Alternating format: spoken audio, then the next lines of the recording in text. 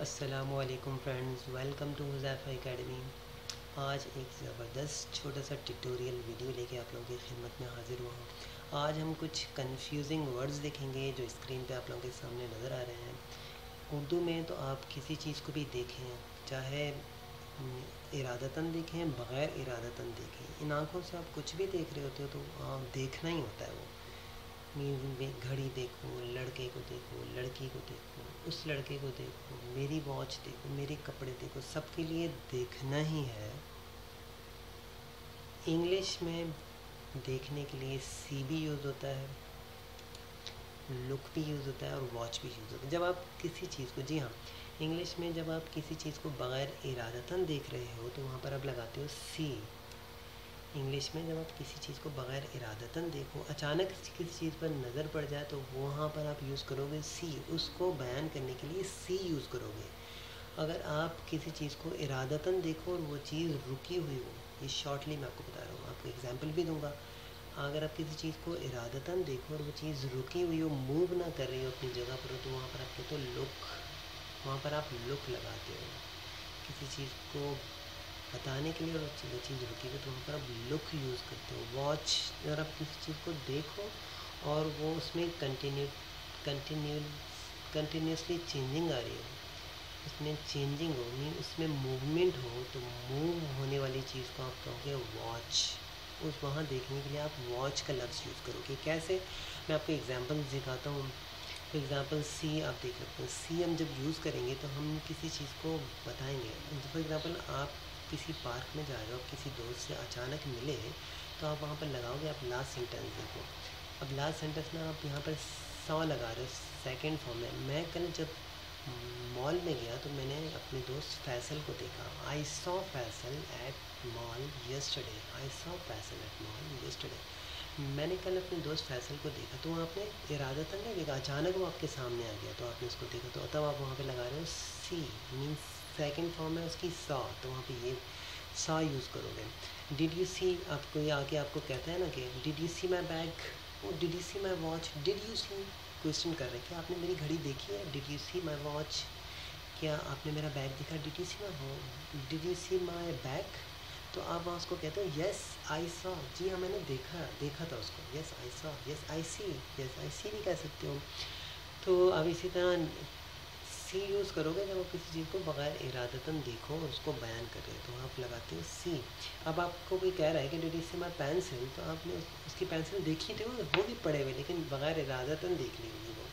आपको इरादतन नहीं देखा होगा, गौर से नहीं देखा होगा उसको, जस्ट आपकी नज़र पड़ेगी तो आप उसको कहोगे यस आयसा आसा आयसा ऑन टेबल मैंने आप टेबल पर उसको देखा था यस आयसा ऑन टेबल दिया मैंने वहाँ उसको टेबल पे देखा था। तो वहाँ पर सी यूज़ होता है जब बगैर इरादे किसी चीज़ को देख लो। जी हाँ फ्रेंड इसी तरह लुक आप देखो लुक हम यूज़ करो तो लुक एट द स्काई आसमान की तरफ़ देखो लुक एट द स्काई तो वहाँ पर कोई ख़ास चीज़ होती है और आप इरादे से देख रहे हो तो, तो आप लगाते हो लुक लुक माई ड्रेस मेरे ड्रेस को देखो. मीन्स ड्रेस में कोई ख़ास बात है आप उसको दिखाना चाहते हो चाहना दिखाना चाहते हो. Look my dress look my watch look at me मेरी तरफ़ देखो कि मैं कैसा लग रहा हूँ. लुक एट मी मेरी तरफ़ देखो. Look on the board board की तरफ़ आप देखने को जब किसी को कह रहे हो तो मीन वहाँ पर कोई ख़ास चीज़ है और आप दिखाना चाहते हो किसी को, और वो चीज़ हरकत नहीं कर रही है ख़ास इंपॉर्टेंट चीज़ है। लुक आप जब बोल रहे होगे किसी को, किसी चीज़ को देखने के लिए तो वो चीज़ मूव नहीं कर रही होगी। Look at look at this boy उस लड़के की तरफ़ देखो, लड़का लुक एट हिम उसकी तरफ़ देखो तो वो शख्स खड़ा हुआ होगा, अपनी जगह पर कुछ कर रहा होगा। तो आप किसी को पॉइंट आउट करने के लिए लुक यूज़ करते हो। वो चीज़ मूव नहीं कर रही होती। जी हाँ वॉच हम कहते हैं आई एम वॉचिंग मूवी हम ये नहीं कहेंगे आई एम सीइंग मूवी मैं मूवी सीइंग क्यों नहीं कहेंगे? यहाँ लगा तो सकते हैं आई एम सीइंग मूवी मैं देख रहा हूँ देखना है, उसका मीनिंग भी देखना ही है। I am seeing I am looking movie यूँ क्यों नहीं कहते? मसला ये है इंग्लिश में जब कोई चीज़ आप देख रहे हो और अपने शौक़ से देख रहे हो इरादतन देख रहे हो, शौक़ के साथ देख रहे हो और वो चीज़ हरकत कर रही है, उस चीज़ में चेंजिंग आ रही है तो आप कहोगे watch I am watching movie I am watching drama I am watching you from last ten minutes I am watching you मैं तुम्हें देख रहा हूँ आखिरी दस मिनट से, मैं तुम्हें देख रहा हूँ, मैं तुम्हें एक घंटे से देख रहा हूँ तो हम ये मानिए कि आई एम लुकिंग यू मैं तुम्हें देख वॉचिंग यूज़ होगा, जब किसी चीज़ को इरादतन, खुशी के साथ, दिलचस्पी के साथ देख रहे हो तो वहाँ पर लगाते हो watch I am watching you watching you तो उम्मीद है आपको समझ आई होगी कि वॉच सी और लुक का यूज़ होता है। फॉर एग्ज़ाम्पल देखो, आप रस्ते से गुजर रहे थे तो आपने कुछ बच्चों को देखा, वो खेल रहे हैं। तो आप कहोगे कि आई सा आई सा some child I saw some child for to playing मैंने कुछ लड़कों को देखा खेलते हुए। आई सा सम चाइल्ड प्लेइंग मैंने कुछ लड़कों को खेलते हुए देखा। आपने उनको बैठे, कुछ लड़के बैठे हुए हैं, आपने इरादतन उनको देखा तो आप कहोगे आई लुक हिम मैंने उनको, आपके, आपने उनको देखा, आपका दिल चाह उनको देखा, आप कहोगे आई लुक दैन मैंने उनको देखा आई लुक दैन इंटेंशली जब कोई काम किया जाए इरादतन तो वहाँ लुक लगेगा। अगर आप कोई लड़के जा रहे हैं, आपका दिल चाह देखूँ, कोई वीडियो चल रही है तो आप कहोगे I watch I was watching या आई एम वॉचिंग तो आप वहाँ पर वॉच यूज़ करते हो। तो मीन जस्ट सिंपल ये है कि सी आप तब लगाओगे जब कोई चीज़ बग़ैर इरादतन देखो और उसको बयान करें तो सी यूज़ होगा।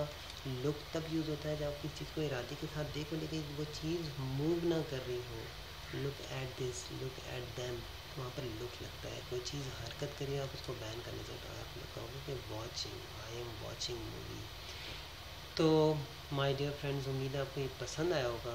एक और सी का मीनिंग आपको मैं जल्द बताता जाऊँ कि सी और का यूज़ होता है। सी देखने के लिए भी यूज़ होता है, किसी से मिलने जाओ तो आप सी तब भी यूज़ करते हैं।